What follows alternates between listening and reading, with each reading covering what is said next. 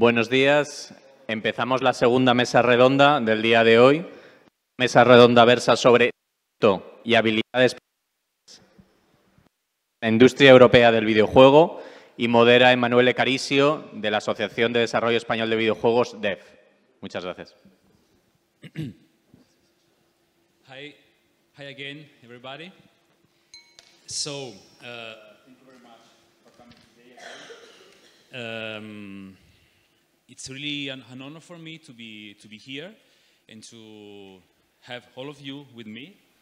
Uh, it's um, it's amazing have all of you because today we're going to talk for about uh, a very interesting topic, which is a really big challenge, challenge for our industry, and uh, is the talent. I mean, our people. So before getting into this, let me briefly present our panelists. We have Javier Capel, which is studio manager at Ubisoft Barcelona. This is a veteran European studio, but also, only, also Spanish studio because they are already in Spain uh, for 10 years and developing big 25, well, if you count the, the past, the, the biggest AAA games developed from Spain, like Assassin's Creed Valhalla or Rainbow Six Siege. We have also Marie-Claire Isaaman, which is CEO of Women in Games, one of the most important institutions advocating for increased presence of women in our industry. It's a pleasure to have you here with us today.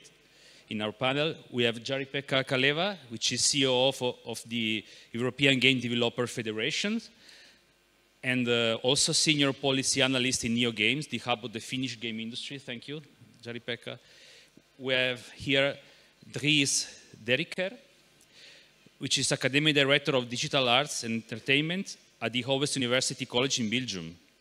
He's uh, been an educator for seven years and in one of the leading game development, VFX, and 3D animation bachelors in the world, recently becoming the director. Congratulations. And also he working in Spain, in Elite, Elite, Elite 3D in Valencia. So welcome back in Spain. and uh, we have Anesa Hosein, she is associate professor in higher education from the University of Surrey, and she researches on how video game can impact on life opportunities for people from different backgrounds, especially girls. So we, will, we have a very, very heterogeneous and interesting panel. So let's begin our session. Um, as, I, as I said, we are talking about our big uh, strengths, but also challenges, which, which are our people, our talents. And when uh, we talk about talent, I think we have three main topics or challenges. How to attract the talent to our industry, how to train properly the talent, and then finally, how to employ the talent. No? It seems easy, but it's, it is not. So let's start with the first challenge, if you, if you want. When I say to attract, I mean we have to be an attractive industry for everybody. And when I say everybody, I mean all kinds of people, no matter the gender, ethnicity, age, or academic and working background. We really, as an industry, we want all the active populations to contribute developing games. Because why would we leave out a part of the population? It, it seems not reasonable. Uh, talking about that, we're talking about diversity in our industry. And surely gender, equity and parity is the most visible goal now as we are still at the European level at 24% of women workers, while, while, they represent almost 50% of the video game players. But we, I think we also have to consider a broader definition of diversity. I mean, often more, more people with backgrounds in other uh, skills like business administration, law, science, or other people who can requalify in game development skills and contribute to our industry. So the question I would propose to our panel is how we can achieve a real and broad diversity in order to break down the barriers that still prevent an important percentage of the population to contribute to our industry. I think that Anesa has a lot to say in this topic because her research is just about that. Yeah. So, um, hello everyone. Um, I'm going to start with the gender issue, particularly around Please. girls. Um, as, and also another issue that was highlighted yesterday about the lack of skills or having the challenge of skills, particularly in the gaming industry. And one of the things that was highlighted around STEM skills in particular. Now, we know that there is a global shortage of STEM skills uh, across the world, but also that women or girls in general are very much less likely to go into STEM itself. So when we're thinking about girls going into the gaming industry to work within the gaming industry, for example, they actually have less, actually many of them don't have many STEM skills themselves because they haven't actually gone into doing STEM degrees. And the reason for this might be because STEM is often seen as a masculine subject, and girls probably do not want to go into something that already has decided for them this is not for them. So my research, however, um, shows that if girls play video games when they're teenagers or regularly play video games when they're teenagers, they're three times more likely to go into doing a STEM degree uh, later in life. Uh, so the reason for this is not always very clear, but my feeling is that the reason why they go into STEM subjects if they play video games is because they feel legitimized in that particular, uh, by playing those video games. So one of the things we can do is to try to get girls playing video games much more regularly and throughout their life. So for example, initiatives like Games in Schools, or even Girls Do Code, for example, uh, they are trying to implement much more um, programming skills and playing video games in schools themselves. But we need to go a little bit further because those are just initiatives. We probably need to have a big curriculum change itself where there are policies where video games are part of the school curriculum as well. And I think that if we have girls playing video games, then they will more likely to go into STEM skills and then funnel into the game industry in the end. Thank you. Thank you, Nessa. Uh, of course, gender is the biggest goal now. So I will pass the mic to Marie-Claire because she's working on that for a long time and maybe she can uh, summary what, she, what they are doing uh, from uh, Women in Games. Yes, sure. Um, hello, everyone. Um, I'm delighted to be here, so thank you for the organisers for inviting me. Um, there are many lenses in which the subject of um, attracting talent can be approached. As uh, CEO of Women in Games, I'm going to focus my answer on attracting talent talented women into the industry, retaining, developing, and nurturing them, and to create a fairer and ultimately more successful and culturally mature video games and esports industry. Some statistics uh, were mentioned yesterday regarding gender balance and also again this morning in the sector, but it is worth me repeating this one more time um, and providing some context in order to address the question on attracting talent. So, women and girls make up 50% of the global population and approximately 50% of players across the world.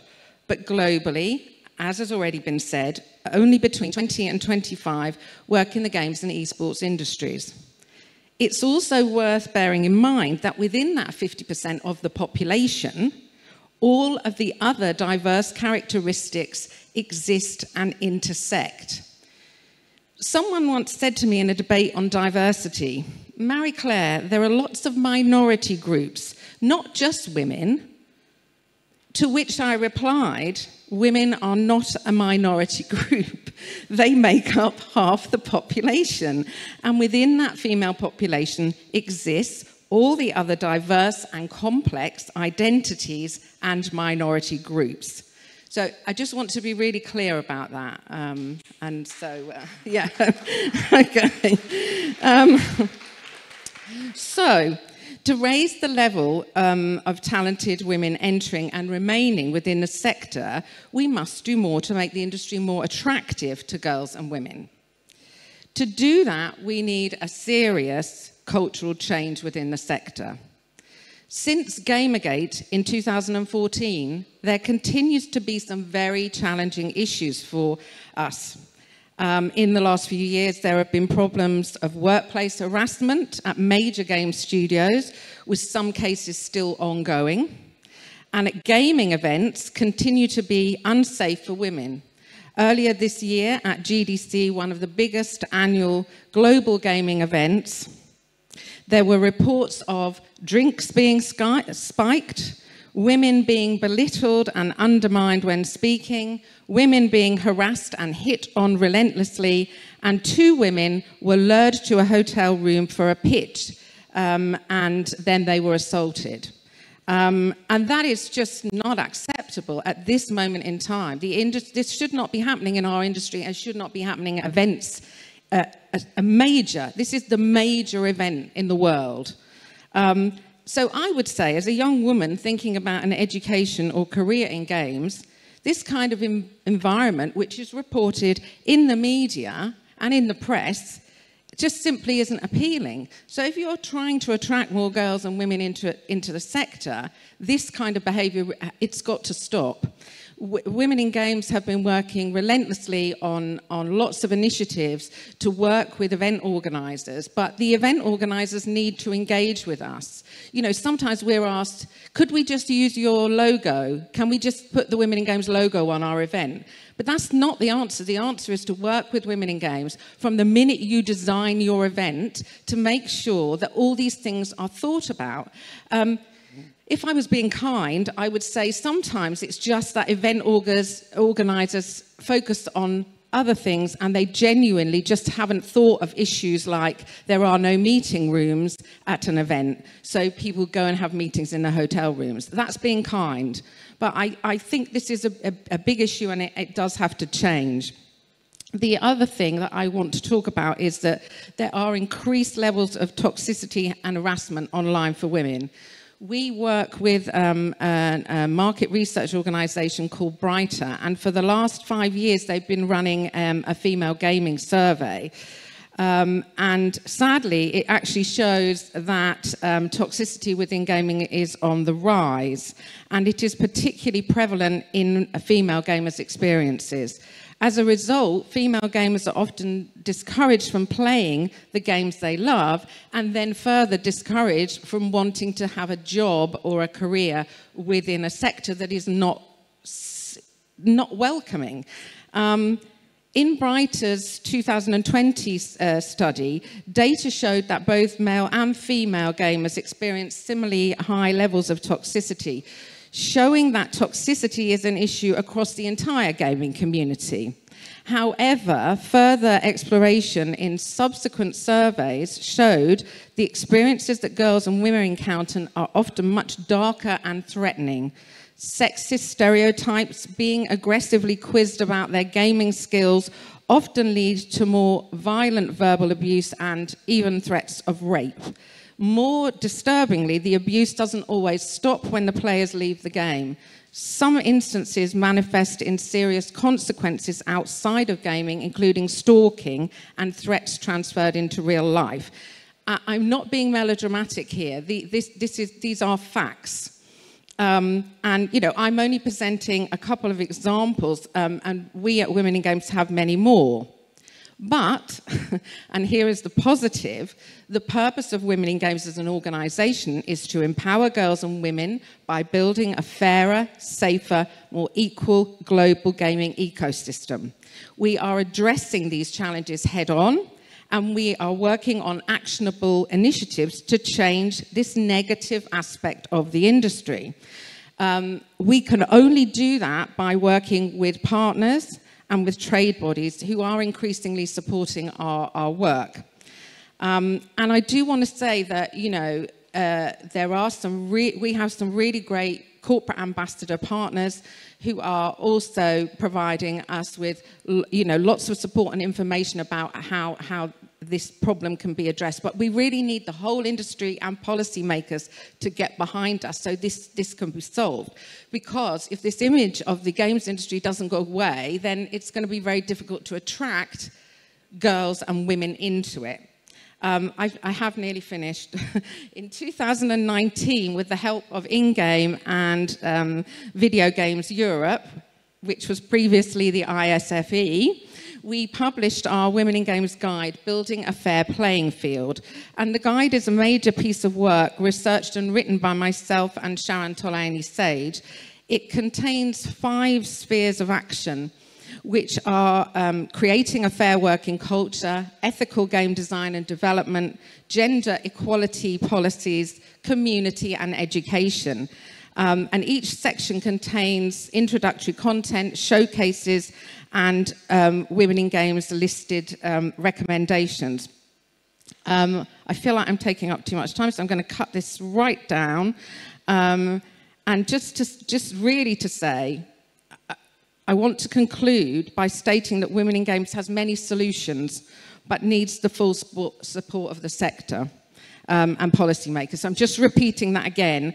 And I think we all should work strategically to address harassment and toxicity, particularly of girls and women, if we are to attract the very best female talent into the industry and make a fairer, safer, attractive environment fit for a competitive global market of the future because we must keep our eye on that future. And if the games industry is to be truly competitive in the global market, then it must, it must, become, it must become a safer, fairer place for everyone. Okay. Thank you, Marie Claire. Thank you for for taking advantage of, of this uh, time to denounce all these things because there are terrible things and, and should, not, should be repeated every time. So just to go on, we, uh, I, I, would like, I would like to ask Javier, as a big company, not only in Spain but throughout Europe and the world, you have a big responsibility in that because you are employing a lot of people worldwide. So I, I would like to know how a big company uh, tries to implement policies, internal policies, to improve diversity, to improve gender equality, to improve yeah. the, um, the openness of the, of, of, the industry of all people. So uh, first, hello to everyone, and uh, thank you for the panel. I cannot add too much uh, really to what uh, Anesa Marie-Claire said uh, from Ubisoft, and specifically from Ubisoft Barcelona. We fully, fully agree with you. In fact, I was going to mention that uh, from our point of view, my point of view, let's say, I see two perspective or a course of action uh, to improve how women are integrated into the video game ecosystem, into developers, and we are fair with everyone. One is to improve the way women are treated today, exactly what Marie-Claire said, and uh, you put a lot of examples that I was a bit shocked, to be honest, uh, because that shouldn't happen. I fully agree with you and, and uh, shocking. So that's the first, very first thing we have to do. Um, not only uh, it's the whole industry, it's the whole uh, ecosystem, is everyone. We have to make sure that we come all together and make sure that that doesn't happen. I mean, that's killing us. And uh, the second big part for me was uh, once uh, we treat this, or no, we talk about this, is how we uh, make uh, girls, women, or small uh, women and small girls come into the industry.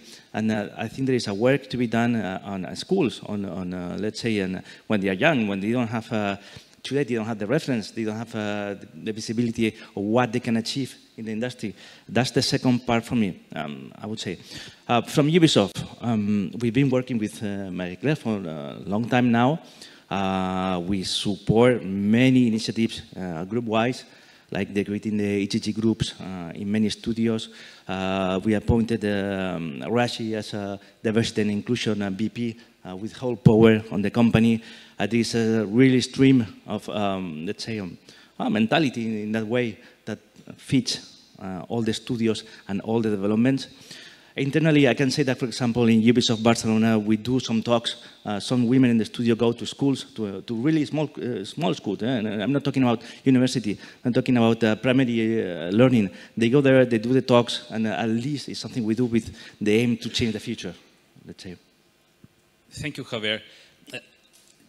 before to move to the next topic, I would like to ask our panelists, as a big company, it's clear that you have the, the means to do that and to the people also to just do this, this, reflection and to try to change the industry. But what can do small companies, small indie companies of 5, 10, 15, 20 people? Because our experience is that a lot of this company, doesn't even have the time to think about that. Not that they don't care, but they are just in their projects and they don't have the time. What I don't want just to- also only to you, but for example, also Marie Claire, have you worked also with small companies? What they can do? Uh, maybe reading your report uh, and, and try to apply the conclusion was, the, but what can be done for, uh, for small companies, which Yes. are the mas- vast majority of European game Yes. developer studios?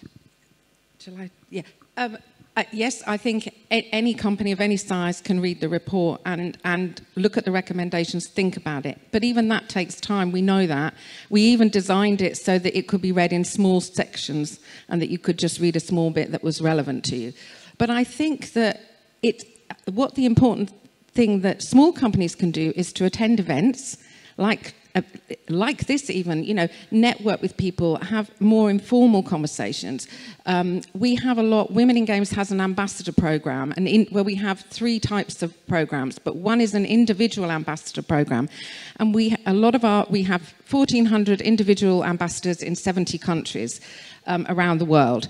And those individual ambassadors um, are often from small indie studios, but it gives them an opportunity to join our Discord server, to um, join our groups, where if they're having a problem in their studio or they want some advice, they can very quickly get an answer through our community. Um, and, and, you know, we have a, we have an, a network community across Facebook, LinkedIn, uh, and, and, and social media over 70,000. So you can always get some, some support and some, some advice. So that's what I would say to small studios because I do recognize that on a day to day basis, actually adding this into another layer of work you've got to do is very hard. So that more informal connection to get the support you need is what I would recommend to those small studios. And, and also, just finally to say, I answer every email that's sent to me, and I'm not trying to suggest everybody email me, but our team, but our team um, will always answer people's questions and support and help them wherever we can. Thank you, Marika. I, I think it's a very broad topic. Uh, we should talk about that all day, but we have to move on now. So, I'm, which are, we are going to, to uh, talk about how to train people. The, for the last nine years in, in Dev, we have been sending a survey to our companies, and then we publish a yearly report with all the figures of, of the industry in Spain. And the only figure which surprisingly isn't changing is the percentage of studios with difficulties in order to find talent with the right skills which has been fluctuating between 50 and 60 percent. We saw yesterday that in the European Union is 40 percent from the report was, which was presented yesterday. This is a huge amount of studios and companies that says that can't find people with adequate training. Uh, we ask why. So the 76% of companies say that um, there is lack of professional experience is the main reason, but also uh, training courses that are too general, 60%, or not adapted to the needs of companies, 56%. So I think here we have two challenges. On one side, maybe the, is the industry moving too fast for academia to follow it? Or is the academia being too conservative and is not launching more innovative programs which can address industry needs? So I, I would like Dries, Dries to, to talk about that a little bit because you, you know you were working on this topic. So please. Yeah, gladly. Um, yeah, there's I think three big points that come uh, when when you have to train talent. I, the first one for me is really understanding that this is an industry that's a bit different from standard industries, and it's an industry that's built on passion. And all the people that go into it are very passionate. Yuri also said it before. You have to understand that. That is one of the main factors that uh, builds into this. When a standard student goes into higher education, usually they shop around and they're looking for degrees and they're like, oh, look, I, I like architecture or biology and I'm going to go into this or that. And they're shopping around. This is something that I don't see with games education. We have people coming over, 14 years old, asking, oh, yeah, this is what I'm going to do later. And they're already working on it right now. Uh, and then they know four years from then they're going to study this degree. So these people are very passionate about it. it's not for everyone though, but it, they're very passionate about it. And this should be no different from the students or from the staff. Your staff also needs to be passionate about it. And that's where it kind of differs from standard academia. You cannot just take standard academic practices and force game education into that. Um, partially because of the way that it, it, needs to be taught. It's very practical, it's very applied. Um, on the other hand, it's very technical, and you need a lot of skilled people to teach those things. So that's not easy to find, those skilled people. But those people need to be passionate about the subject, but also passionate about education. And that's a difficult match to find. But I think it's a very important part of it. If you don't have a passionate, coherent team that really has the identity of a game developer, then you're not going to get passionate students that have that identity of a game developer. Which brings me to my second point. What I see a lot of uh, degrees trying to do is they try to do too much at once, doing nothing at the same time. Um, it's a very key part of, of, games education is understanding that the games industry is a very broad term. Um, there's a lot of different facets to it. Um, even the difference between mobile development and AAA development is huge. Um, there are parts to it like programming, but there's also an artistic side, there's game design, there's a business side to it. You cannot put all of these facets into a single person. And if you can, those are very special people and they exist, um, but that's not the standard. You have to understand that specialists are needed, and to have those specialists, you need to have deep knowledge for those students. You need to really create a profile that has deep knowledge on certain parts of their part that they want to be good at. Um, it's good to try to create profiles that know everything, but they're not going to be great developers because they need to have, it's better to create a profile that is, for example, really good at making 3D characters and they have a broad overview of other things. Um, but it, it, you need to understand that you need specialists in this industry to create really cool, technically difficult uh, projects because that's what games are. They're extremely difficult. Um, projects where, with a lot of interdisciplinary things coming together. So you need specialists to make that happen. And I feel like that's where a lot of uh, higher education programs kind of miss the ball. Um, which uh, brings me to my last point. Um, you need a quality standard. The games industry doesn't really care about your degree. It cares about your portfolio. And if you don't have a good portfolio and you have a great degree, they won't really care. They're not going to hire you because your portfolio is not good enough.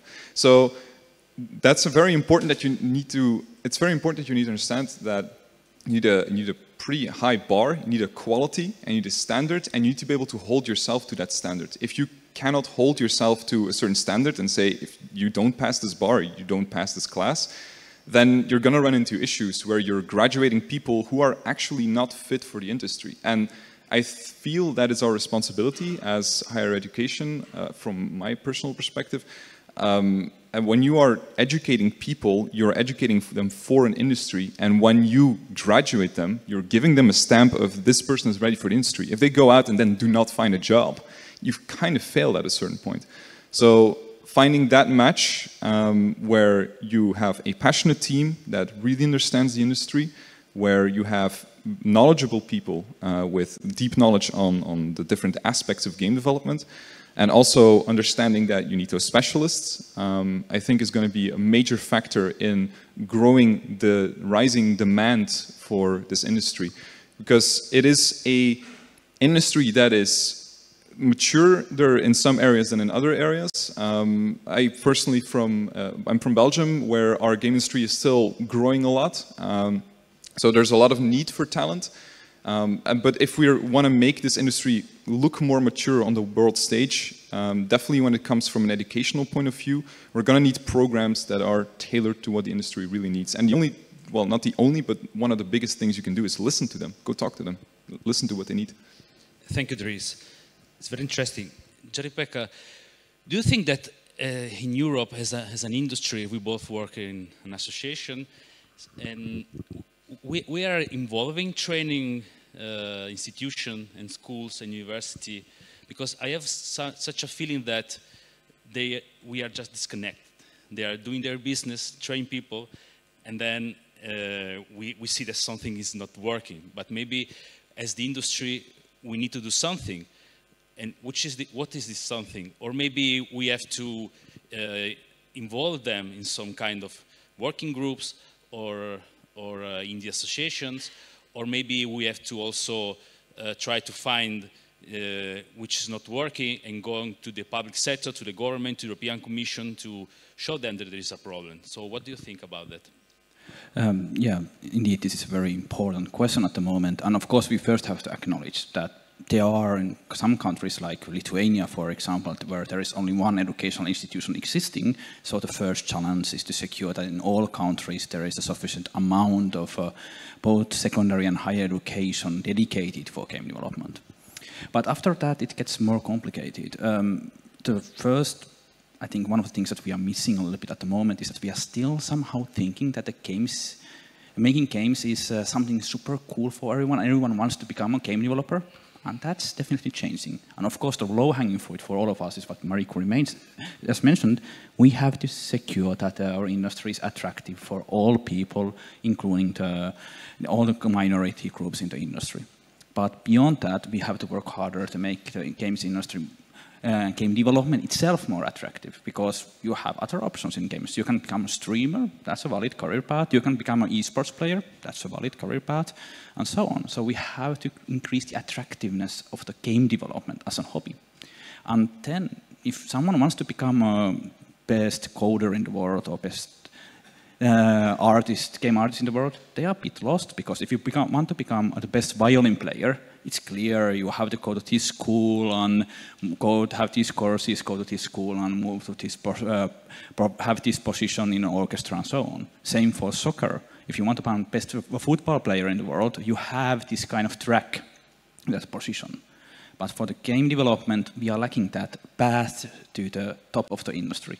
And making that clear for everyone uh, would be really important to secure that those young kids who are interested about entering the industry, as you mentioned, are very passionate about it, how to make clear for them that this is the route you have to follow.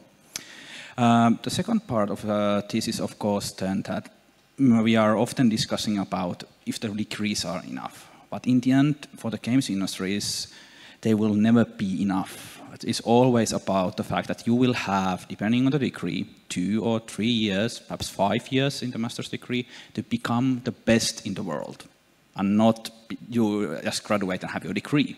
So ideally, the degree is just a base for your greatness. And then the challenge for the industry is like, of course, first of all, we have to somehow communicate what are the industry requirements the first way to do that is to secure that the students are integrated in the professional communities as early as possible. So they have a little bit of connections and ideas and networks early on, what it means to work in the industry and how it works. So if you have a local IGDA chapters in your city, for example, how to secure that they are open for students. The second uh, far more trickier part is that many, especially on the programming side, uh, we are using different kind of uh, online courses, for example, for Coursera, inside uh, trainings into uh, game industry studios.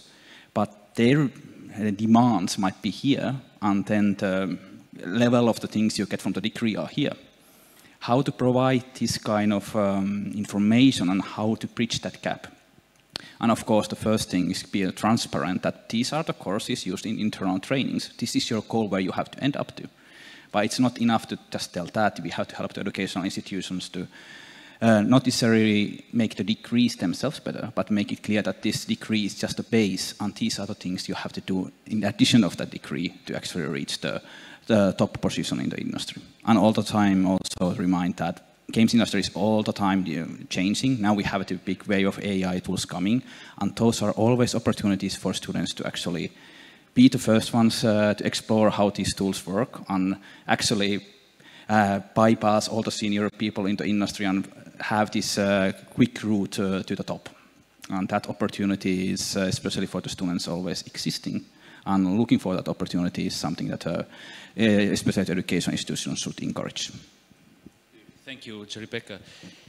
Javier, uh, it seems to me that what companies are saying to us in the survey is that they are looking for senior profiles. Because when they say that there is lack of professional experience. Of course, a new graduate has not professional experience. So maybe what they are what they are telling us that it's very difficult to find senior profiles for what you are looking for for your project. What, what is your feeling about that?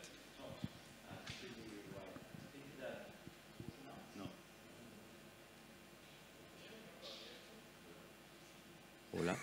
Hola. Hola. So you're completely right. Um, we're looking for seniors. And something um, we discussed, we was mentioned, uh, there is a gap, let's say, between uh, what the enterprises, companies, or studio need and what uh, the education can offer. Um, I would just like to point out that it's specifically, or more specifically, on the technical senior profiles. I mean, it's very, very rare to find a specialized senior guy coming out of a university. That doesn't exist by default, let's say. The, the big part of the education of those senior profiles, of those specialized people, come when they work and they get experience in a, well, in my case, in a AAA production, let's say.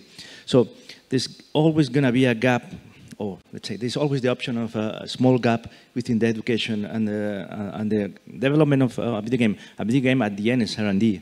So you cannot pretend, uh, the, the, let's say, the education to be just aligned with that anyway. But we can work on that on the, on the more um, junior profiles or entry-level profiles. And sometimes we had that gap, it's true, and uh, it was not supposed to be there. I mean, um, what we did uh, from Ubisoft is to work with the education, uh, let's say, um, um uh, people. So we, we work with them, we talk with them, uh, we do meetings, we tell them, look, uh, for artists, now we are not using this software, we're using other software. We're trying to help them to become uh, closer to the, to the standards we use today. Because at the end, we're going to employ that people. And uh, the better we um, prepare they come, the better for everyone. Thank you, Javier. Um, I think we can move to the next topic, which is to employ talents. Uh, always according to our survey, but this time we did a survey between game workers. We asked them for their main challenge. So the main challenge that, uh, for uh, them is finding a first job to break into the industry. This is a problem obviously for the training sector, because as, as you said, uh, game development is vocational. You go to study game development because you like this. And for a lot of time, a lot of uh, uh, schools and university had this uh, motto like, make your hobby your profession. But as the industry goes on, the employment percentage rate fell. So now it's coming it's becoming very difficult for, uh, for uh, schools to sell this kind of degrees, which are, for, example, for, uh, from private university, very costly. So uh, we have at the on-side, as we discussed before, companies that can find talent, and on the other side, side, talent that can find a first job. So again, we have a disconnection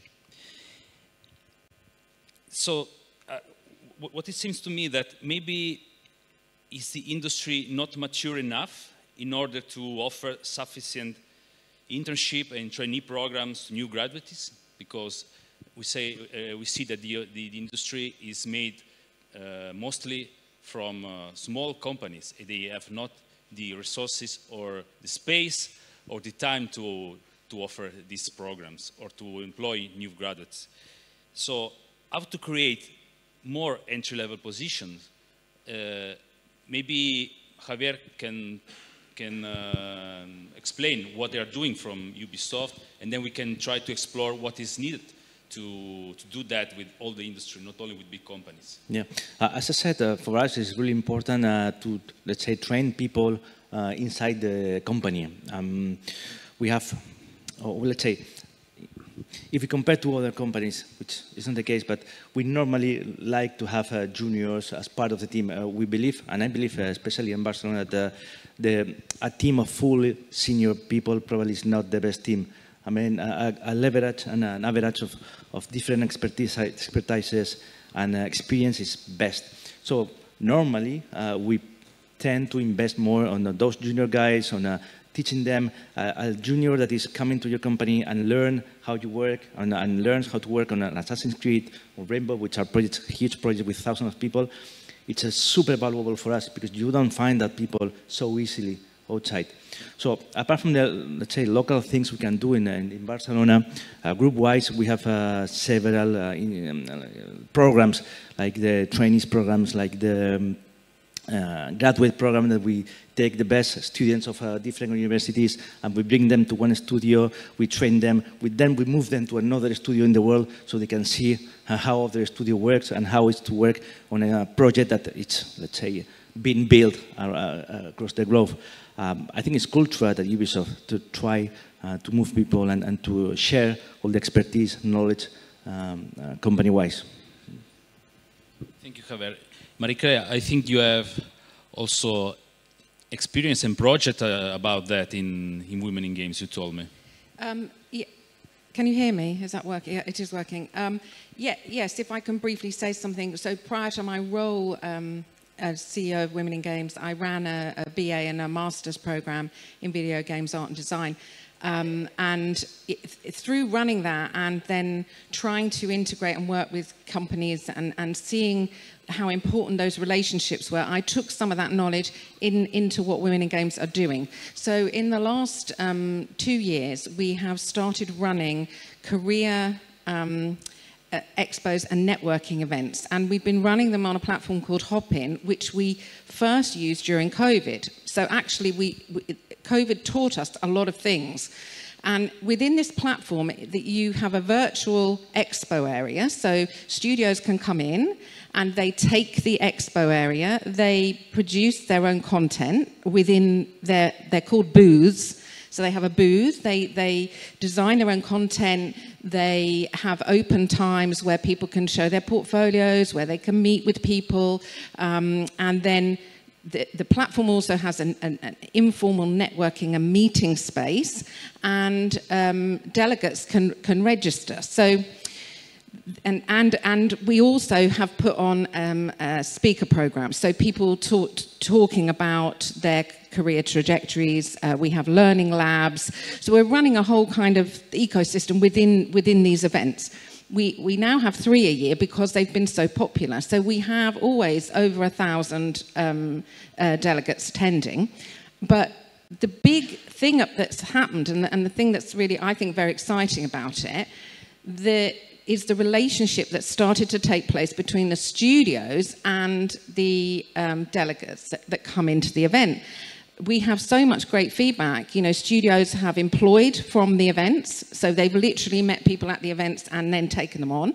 They've also met graduates uh, who are looking to understand what they need. You know, so a lot of graduates might really, I'll just take a company, Sumo Digital. So Sumo had a stand, the, the students or the graduates go to that stand, they then have a long conversation, they look at the portfolios, they consider, they talk about what skills they might not have, and that gives them a chance to prepare that properly for a job application. So, and, and it's been really, really successful. Um, and I, I would really like for Women in Games to be able to launch more, more of these um, events, particularly to attract um, girls and women into the industry, obviously. But the events are not closed events, and, and, and we have about 15% of males attend the events, and they've also found employment through, through the event. So for me, the key is making, creating spaces you know, really good spaces where the industry and those who want to be in it can learn, share, and connect um, uh, with each other. So, you know, if any of you our next our next event is in November, so I'm just selling it a bit now. So uh, you know, Correct. if you're interested, please get in touch. Thank you, Marika. I agree with you. It's it's a very good way. Uh, Dries, you say to me that your employment rate is 95 percent. Something like that, yeah. Which is the the receipt of the success? Um, Briefly. Yeah. Um, I think what uh, Jari-Pekka already said was you have the need for a clear way to the top, a flow from student to junior. Um, and I think that we are achieving that quite nicely in the sense that we have a very clear flow um, from basics to expertise to integration into the game industry, ending with an 18-week internship where basically, if you get the stamp from us, like saying you're ready for the, for the industry, you're already working in the industry for 18 weeks. So that already really helps a lot. And part of it, uh, like I already said, is having that passionate team around it and having a very clear structure where you focus on clear basics that have been where, where, you talk to the industry and make sure that this is what they need and to make sure that this is the technology that they're working with and then that flows into their internship which is part of the curriculum and they have to find that internship. So they know it's coming. They know they need to have a portfolio that is up to par with what the industry needs. So that really helps. Um, yeah and it also partially helps i guess in the sense that we are a public institution. We are not funded by private money. So we have the freedom to say, you are not good enough for this, we're going to fail your class. We don't have to beat around the bush because of financial reasons. On the other hand, because we're a financial institution, uh, sorry, financial institution, uh, a public institution, uh, we don't have the resources that uh, a lot of private uh, institutions have. So looking at that, it's not a resource problem because they sometimes have five times the amount of money that we have and we can make it happen, so why not them? On the other hand, um, because we are kind of talking about retain, retaining talent, these educators are also talented people and retaining them is very difficult in a situation like that because you don't have the resources to have 10 people per class group. We work with 30 people per class group because there's no other way. So I, I think there is a certain responsibility there from government agencies as well to look at what are programs that are really working and are we willing to invest in that to because investing in education for the games industry is investing in talent for the game industry which is investing in the growth of your game industry. So if you are really if you really believe in that then this is part of the equation. You can't just only invest in startups for example Thank you. Anesa, from the University of Surrey, what is your experience?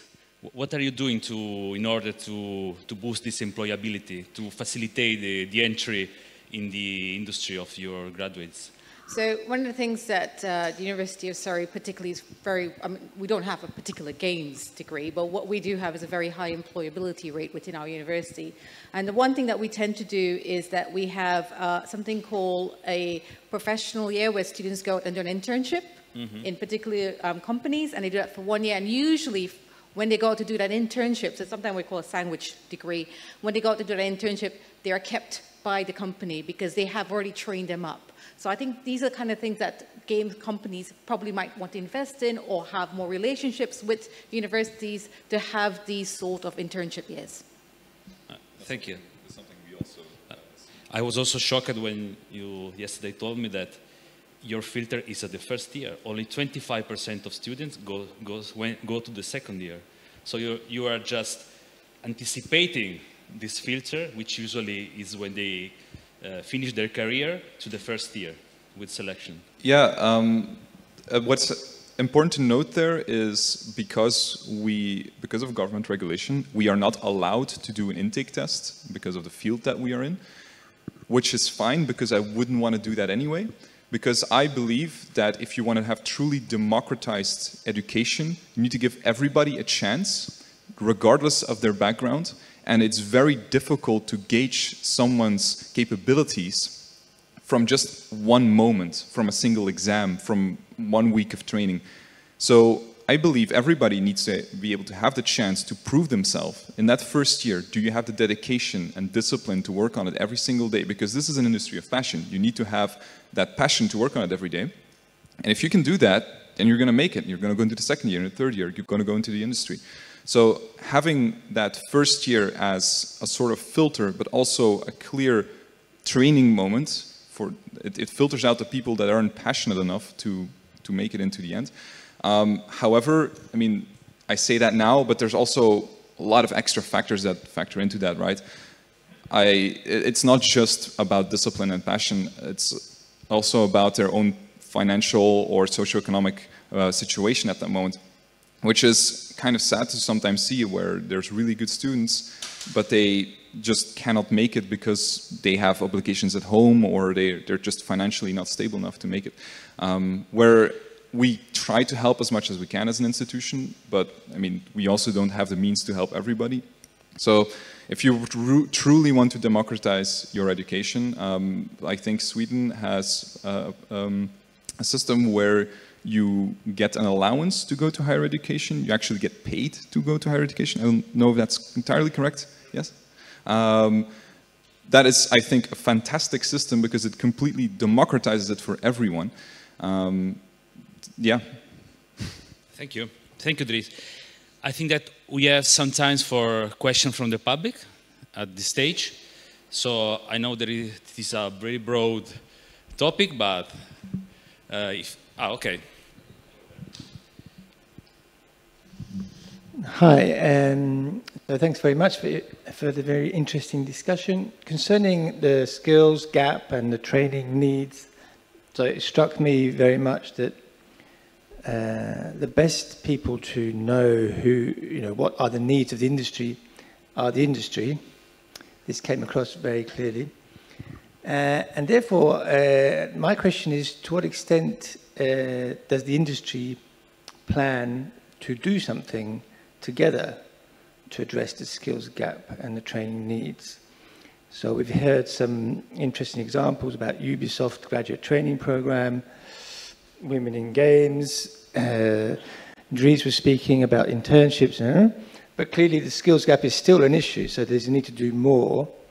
Well, so I was wondering, what does the industry plan to do more? Is, is, is there an appetite, for example, you know, if we're coming together and doing joint projects, pooling investments, creating joint training programs at European level, a training academy, etc., uh, you know, I think that might be an interesting avenue, you know, to go straight for straight for goal, rather than, uh, or as well as as well as engaging with the educational establishment and talking about curricula. You know, the two things can be complementary. Thanks. So, uh, of course, the, one of the main things to keep in mind that uh, situation is different in each European country. So uh, there uh, always these kind of actions has to be tailored to the local needs. There are lots of educational institutions in Finland, for example, so the actions there are a bit different uh, than in some other countries, like in Lithuania. So in Lithuania, the industry is uh, actually uh, through the trade association working hard to push the government to provide more funding for the for the new educational uh, core, um, you know, courses uh, and uh, more game education in the higher education institutions. But that's not the cap in Finland, whereas uh, the industry is working together with the educational institutions for, uh, for example, using Erasmus funding together with some other um, countries to build these kind of skill, uh, skill um, patches where you can identify your level of skills or what is needed for certain professions to build this kind of projects. Of course, the challenge is that do you get uh, uh, that funding from these highly competitive EU funding instruments? And uh, beyond that, uh, of course, there are other things uh, that can be done to actually foster this kind of mainstreaming of the games education in Europe. And one of the things that is perhaps missing on the EU level is uh, the fact that at the moment Erasmus program is very much focused on the uh, sec securing that uh, free movement of the students to other countries, free movement of the educational specialists from educational institutions to other countries. But what we would need perhaps is also the exchange programs for the um, massive online courses themselves so that we would make all those marvelous uh, online educational resources that are done in many countries in English available for in other countries and mainstream them across Europe and so that we would have the best resources for game education across Europe. And this is of course something that uh, game companies themselves uh, can contribute on, at least by making uh, clear that these are the resources that we are using at the moment uh, in our internal uh, education inside the companies, internal trainings in the companies, so that uh, students know that, okay, these are the things that we perhaps should focus on if we want to get employed. But definitely industry is working on, but uh, this is an ongoing process. So if uh, you have any ideas on your local country on how to improve the situation, I'm sure that local trade associations are more than happy to engage in this dialogue and improve uh, the quality and uh, of the game education because in the end their future depends on that uh, access, access to local talent. Um, I'm listening to yesterday and this morning, um, lots of things, we, we've talked a bit about game development skills, but um, listening to everything that's been spoken so far, the games industry doesn't only need game development skills, it also needs things around legal skills, entrepreneurial skills, business skills, marketing skills. And what we have is many students graduating with these skills, but they're not focusing in the video game industry. And what we really need to do is try and think about how do we get them to specialize within the video game industry, because that is what the video game industry needs next to become more mature. Yeah, yeah. This, is, this, is, uh, this is an issue because because uh, we see only also in Spain. So we have a lot of people passionate about doing games, but business people are just doing business and to, to direct themselves to other sectors, but usually not to game sectors. Yeah. So how we can attract this kind of profiles? Well, I think one of the things that we can do, um, I'm, I'm, thinking from an academic point of view because I'm at the university, is that we don't have any minors in game, game development or anything, so we can go business majors with games, but we don't do that because that's right. not even considered. And I think it's something to do with the game industry themselves, going to universities, having conversations like this, saying, this is what we need. Could you help us to create these things? And I think that's what's needed. I, I think some, in some universities, they might be a little bit reticent about doing a whole games degree, but having a games part of a degree, I think that they might be more willing to do. May add something on that? So one of the ways universities and uh, companies are working together is actually supporting local incubators and accelerators, securing that after your graduation you would be able to enter some kind of track to entrepreneurship. And this is highly important for the industry that we also get the first round startups as early as possible because it's much easier to fail uh, when you are a young person and then work a little bit uh, for the companies with experience you has, have as an entrepreneur and then launch your usually much more successful second uh, round startup early in your career. That those are often the basis of the successful studios in the national ecosystems. And from that perspective, you are spot on on the need for the business skills, uh, and, uh, but uh, they can also be acquired through accelerators and incubators. There are questions? Okay. It works, yeah, thank you. Uh, I, I, actually just want to follow up on Martin Dawson's question um, to, to, the panel, and I think you asked a very good question. Um, I, I, think we need to have a structural approach, and I think there are things that the industry, institutions can do together. Uh, I think we've heard many good suggestions, but I also think we need actually a proper mapping. Uh, of course, there are things, education is a member state's competence, etc., but I think if we want to make sure that Europe has the right talent pipeline for the future, because that prepares very long time in advance, I think it could be great to do an exercise through a project in mapping with the support of member states, uh, the sector at national level to really map out the skills gap. Uh, and I think we saw just recent data from uh, actually the European Commission's, you, you have uh, a DESI indicator, uh, digital economy and, and skills indicator. And I think we saw that, that 3.9 students, they graduated with an ICT diploma. I'm not sure how that fits with the 20 million ICT specialized worker we want to have in, in Europe by 2030, but I think we need to have a holistic, strategic, structural overview and that doesn't hinder member states from pursuing their own competences. But I think we, I think this is where Europe can facilitate and, and be supportive. Thank you. Thank you.